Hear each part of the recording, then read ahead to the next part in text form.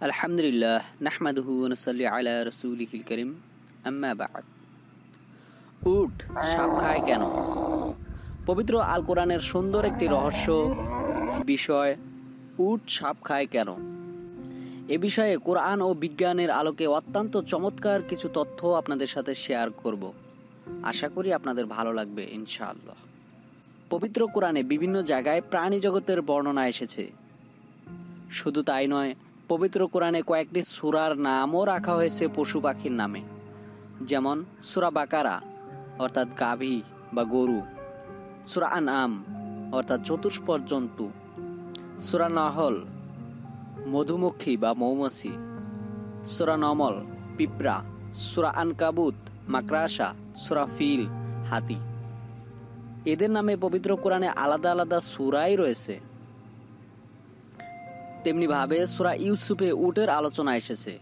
উট এমন একটি প্রাণী, যেটির বৈশিষ্ট্য অন্যান্য প্রাণী থেকে একটু ভিন্ন ও অদ্ভুত। পবিত্র কোরআনে উটের একটি রোগের আলোচনা আছে, যে রোগ হলে উট একদম খাওয়া দাওয়া ছেড়ে দেয়। মৃত্যুর আগ পর্যন্ত উট শুধু সূর্যের দিকে তাকিয়ে থাকে। বিশেষজ্ঞগণ উটের এই রোগের ব্যাপারে ব্যাপারে গবেষণা করে কোনো উৎস বা কারণ জানতে পারেনি। এ রোগের নাম হলো হাআম। অনেকে আবার এ বিষয়ে না জেনেই উটের ওপর নানা ধরনের জুলুম করা শুরু করে দেয়।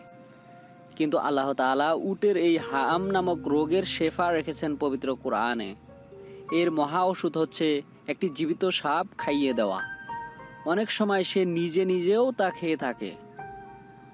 উটটি যখন সাপটিকে গিলে ফেলে, এই অবস্থায় প্রচণ্ড তৃষ্ণা বাড়তে থাকে। এবং আট ঘণ্টা এই অবস্থায় থাকে। আর তখন উটের চোখ থেকে অঝোর ধারায় পানি প্রবাহিত হয়। উটের চোখ থেকে যে পানি বের হতে থাকে তা খুবই মূল্যবান পানি, কেননা এ পানি অন্য পানি থেকে সম্পূর্ণ আলাদা। এ চোখের পানিকে তীর আক বলা হয়। আর তীর আক এমন এক মহাঔষধ যা কিনা যে কোনো প্রাণীর বিষকে নষ্ট করার জন্য উপযোগী। মহামূল্যবান তীর আক অনেক কষ্টে তৈরি করা সম্ভব এবং ব্যয়বহুল। যে তীর আকই হচ্ছে উটের সেই চোখের পানি, যা বিষক্রিয়া নষ্ট করার চিকিৎসায় কার্যকারী। উটের পিপাসার এই রোগকে কোরআনুল মাজিদে জাহান্নামের শাস্তির সাথে তুলনা করে বয়ান করা হয়েছে, যার অর্থ কিছুটা এমন। অতপর তার উপর গরম পানি টকবক করতে থাকবে, আর পানকারী পিপাসায় উটের মতো সেই পানি পান করবে। পবিত্র কোরআনে আল্লাহ পাক বলেন, তোমরা অবশ্যই ভক্ষণ করবে জাক্কুম বৃক্ষ হতে, অতপর তা দ্বারা উদয় পূর্ণ করবে, অতপর তার উপর পান করবে উত্তপ্ত পানি, পান করবে পিপাসিত উটের ন্যায়।